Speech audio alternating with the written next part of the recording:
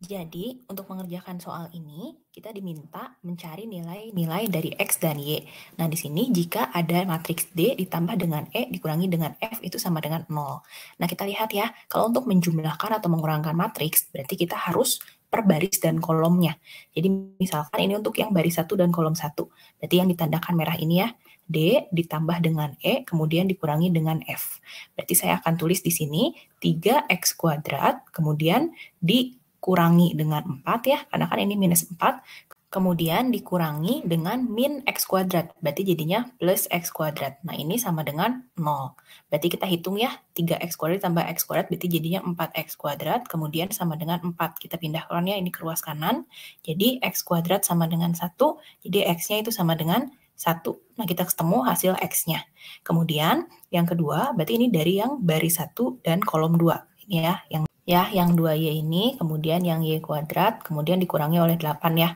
Berarti ini saya tulis 2Y ditambah dengan Y kuadrat dikurangi 8 sama dengan 0. Berarti kalau kita ulangi, ini jadi Y kuadrat ditambah dengan 2Y min 8 jadi 0 ya. Biar bentuknya bisa kita faktorkan dengan mudah ya. Ini Y dikali dengan Y, kemudian ini jadinya 4 dan 2 ya. Ini plus 4 dan minus 2. Berarti Y-nya itu antara minus 4 atau Y-nya itu sama dengan 2. Nah, kita ketemu ya nilai Y-nya. Kemudian sekarang yang baris 2 dan kolom 1. Berarti yang Y plus 2 ini, kemudian 4Y kuadrat ini, dan 5Y kuadrat. Berarti saya buat ini akan menjadi Y plus 2, kemudian ditambah dengan 4Y kuadrat dikurang dengan 5y kuadrat sama dengan 0. Nah, berarti ini hasilnya akan menjadi minus y kuadrat ditambah y ditambah 2 sama dengan 0. Nah, agar lebih mudah ini kita kalikan semuanya dengan min 1 ya. Berarti jadinya y kuadrat min y min 2 itu sama dengan 0. Berarti kalau kita faktorkan, ini akan menjadi y sama y. Kemudian ini 2 dan 1, ininya minus dan ininya plus. Nah, berarti y-nya sama dengan 2 atau y-nya sama dengan min 1. Tadi Y sama dengan 2-nya udah ya, berarti ini Y-nya sama dengan min 1. Nah, sekarang yang terakhir itu adalah yang baris 2 dan kolom 2. Berarti yang 8 min 7X dan X kuadrat ini. Berarti jadinya itu akan menjadi 8 dikurangi 7X dikurang dengan X kuadrat sama dengan 0. Nah, ini kita kalikan lagi semuanya dengan min 1.